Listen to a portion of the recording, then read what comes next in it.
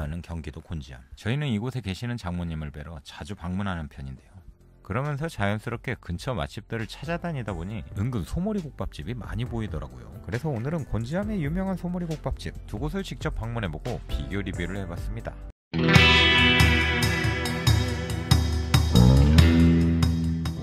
첫 번째로 찾아온 곳은 곤지암 1티어 국밥집이라고 소문난 세미자 소머리 국밥집인데요. 이곳은 본관과 별관격인 일관 이렇게 두 곳이 있는데 원래 이날 본관을 방문하려고 했지만 재료 소진으로 본관은 문을 일찍 닫았더라고요. 아니 진짜 맛집인가 봐. 어떻게 이렇게 어. 공간은 아니 재료 소진인데? 국밥 한 그릇 먹기 진짜 힘드네. 어. 그래도 다행히 멀지 않은 곳에 별채인 일관이 있어서 저희는 이곳으로 안내를 받았고요. 영업시간은 영상 더보기나 화면에서 참고하시면 됩니다. 실내는 단체 손님이 방문해도 될 정도의 엄청나게 넓고 쾌적한 대형 식당의 모습이었고요. 메뉴는 소머리 국밥 과 수육 딱 두 가지로 가격으로만 따진다면 약간 비싼 느낌은 있었습니다. 저희는 기본 국밥과 특으로 하나씩 주문을 해봤고요. 우선 국밥이 나오기 전 기본 세팅은 국밥집의 해갱, 김치와 깍두기, 사이드로 양파와 고추장, 고기를 찍어 먹을 간장 소스도 quality 있게 나왔고요. 이 모든 걸 눈치 안 보고 먹을 수 있게 셀프 코너에 낙낙히 준비되어져 있었습니다. 그리고 K 스타일의 패스트푸드답게 엄청난 속도로 국밥이 나왔는데요. 고기 quality를 오. 고기 꽤 많이 들어있네. 소량씩 해서 이 정도 주는데 없잖아. 그렇지. 특은 더 많을 거 아니야. 처음에 소머리 국밥 치고는 가격대가 좀 있다 생각이 들었는데 이건 뭐 고기가 거의 국밥의 70%를 차지하는 것 같아 왠지 이 가격이 납득이 될 만한 수준이었고요 약간 설렁탕과 비슷한 느낌의 국물은 아무런 간이 안 돼 있고. 한간. 무간도에 갈 뻔했어. 뭐라고요? 무간. 보인가? 미안 진짜 걱정. 미안해. 아무런 간이 안 되어 있기 때문에 취향껏 소금으로 간을 해주시면 됩니다 일단 간을 맞추고 들어간 고기와 함께 제대로 한번 먹어봤는데요 과연 맛은? 첫 입에 딱 느꼈는데 여기는 또 올 수 있을 것 같아. 그래 내가 맨날 여기 오자 그랬는데 자기가 또내 그러니까. 말을 안 듣고. 아니 고기가 너무 연하네. 하나도 안 질리네. 원래 소마님이 기피하는 음식 중 하나가 국물에 떠다니는 고기가 있는 국밥류인데 희한하게 여긴 자주 언급을 하면서 오자고 했었거든요 근데 소머리 국밥은 여러 번 경험해 본 바로는 거기에서 거기라고 생각을 해서 지금까지 오지 않았는데 여긴 이제서야 오게 된 걸 후회하게 만드는 맛이었습니다 요즘 유행하는 말을 인용하자면 제가 중요하게 생각하는 고기의 익힘 정도가 있는데 보기에는 질겨 보였지만 하나도 질기지가 않고 상당히 부드러운 텍스처가 좋았고요 깊이 있는 구수한 국물과 겉절이 스타일의 김치의 조화도 느끼해지지 않게 맛의 균형을 잘 잡아줬습니다 그리고 이 집은 깍두기도 맛있지만 배추김치가 더 맛있어. 약간 겉절이 느낌으로 가지고. 저는 얼큰한 맛을 선호하는 편이라 다대기도 넣어봤는데 확실히 이렇게 먹으니까 느끼함이 줄어들어 좋더라고요. 아니 나 지금까지 먹었던 소머리 국밥이 소머리 국밥이 아니었네. 자기 되게 무섭겠어. 왜 왜? 내가 이성 그 소머리 국밥 quality 차이 너무 나는데. 다른 데들은 이렇게 아끼잖아. 어, 얇게 어. 썰고 많이 안 주려고. 맞아 맞아. 맞아. 근데 여기는 일단 두껍고 되게 부드러운 부위를 푸짐하게 많이. 여기는 이거 먹으러 여기 오라고 그러면 올 것 같아. 사람들은 먹으면 올 정도의 quality야. 어 quality가 너무 좋아. 이거는 내가 딱 말할 수 있는데 지금까지 먹었던 소머리 국밥 중에서 1등이야. 어찌됐든 깨끗하게 clear. 국밥 두 그릇에 32,000원이 나왔고요. 두 번째로 찾아온 곳은 최미자 국밥집 바로 맞은편에 있는 바로 배연정 소머리 국밥집입니다. 배연정님은 요즘 분들은 모르실 수도 있지만 저희보다 위세대들에겐 꽤나 유명한 코미디언으로 알려져 있어 솔직히 유명세에 운영하는 식당 같아 지금까지는 오지는 않았었는데요. 하지만 잠깐 반짝하는 유명세 식당이라고 하기엔 벌써 업력이 30년 넘은 곳이라 눈팅만 하다가 이번에 방문하게 되었고요. 실내는 꽤 넓으면서 약간 세월의 흔적이 느껴지는 인테리어였고 가격대는 앞서 소개해드렸던 최미자 국밥집과 특 메뉴에서 천 원이 더 저렴했습니다. 저희는 보통 소머리 국밥 두 개를 주문해봤고요. 소머리 국밥이나 순댓국에서 보통 털이 나오면 저 같은 경우 비위가 약한 편이라 거의 먹질 못하는데 여긴 털털하게 새 걸로 바꿔주신다고 합니다. 궁금해서 오긴 했는데 손님이 좀 앞치마가 되게 화려하고 좀 아니 국밥인데 왜 오삼불고기를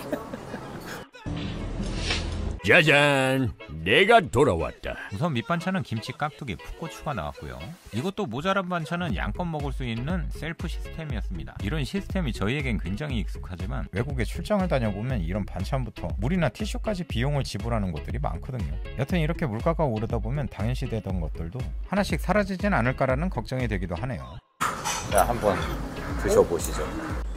어, 고기가 내가 거기 보다 조금 없는 것 같아. 아닌가? 느낌 탓인지는 모르겠지만 앞서 방문한 채미자 소머리 국밥은 투렴식이라 그런지 좀 더 푸짐한 느낌이 있었는데 여기는 밥이 따로 나오는 스타일이라 채미자 국밥에 비해 약간 빈약한 느낌이 드는 건 사실이었습니다. 그래도 들어가 있는 고기들이 큼직해서 마음의 위안은 되었고요. 그렇다면 가장 중요한 맛은?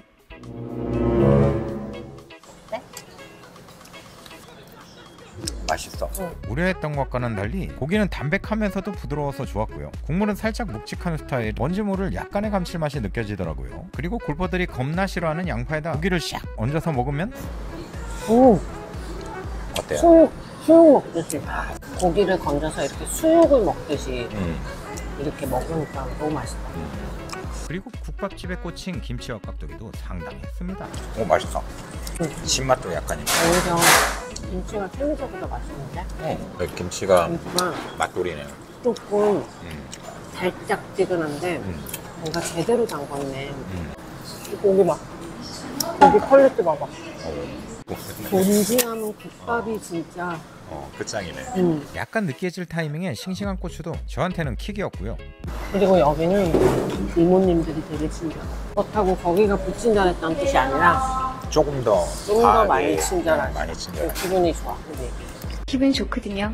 밥은 고슬하게 지어진 편이었는데 다들 아시다시피 너무 밥이 질어져 버리면 국밥이 아니라 죽밥이 되죠. 다른 데보다는 조금 약간 비싼 감이 없잖아 있거든.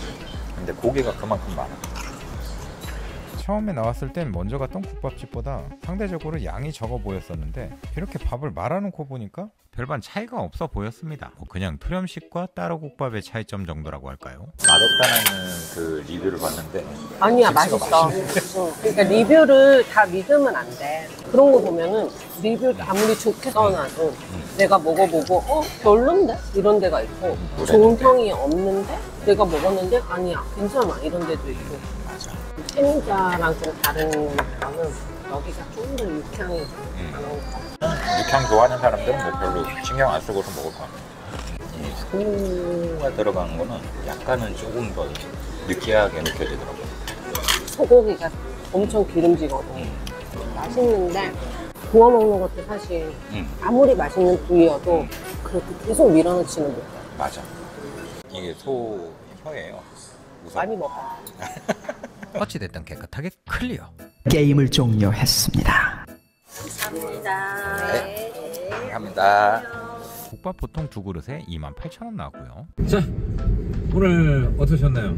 지난번에 우리 최미자 국밥이랑 배현정 국밥 와봤잖아. 어, 굳이 비교를 하자면 어. 맛은 똑같은데 약간 배현정 국밥은 육향이 좀더 아. 진해. 그게 내 느낌이야. 이걸 좋아하는 사람들이 올 것 같아. 그러니까 보니까 손님들이 가- 다 거의 남자 손님들이더라고. 좀 거친, 최미자 국밥은 여자 손님. 좀더 좀- 깔끔하고. 어, 깔끔한 스타일이어서 어, 여성분들, 가족끼리, 이렇게 애들도 많이 오고. 가져. 음, 그러고 이건 진짜 내 느낌이거든. 최미자 국밥이 고기 양은 조금 더, 줬- 더 많이 줬던 것 푸짐하게. 같아. 어, 체감상 느껴지는 게 거의 아, 많긴 하다. 그래? 어. 그래서 거기를 더 많이 가나? 이런 생각도 들었고. 아, 이거는 개치인 것 같아, 개치용. 개치도 아니야. 여기 둘 다 너무 맛이 비슷해. 그냥 삼성이냐, LG냐, 어, 이런 느낌이. 맞아, 맞아. 어, 나도, 나도 딱 그런 느낌이었어요. 여러분들이 보시기엔 어느 쪽이 더 괜찮게 느껴지셨나요? 혹시나 다녀오신 분들의 후기도 댓글로 남겨주셔도 좋을 것 같고요. 긴 영상 시청해주셔서 감사드립니다. 자, 오늘의 영상이 도움이 되셨다면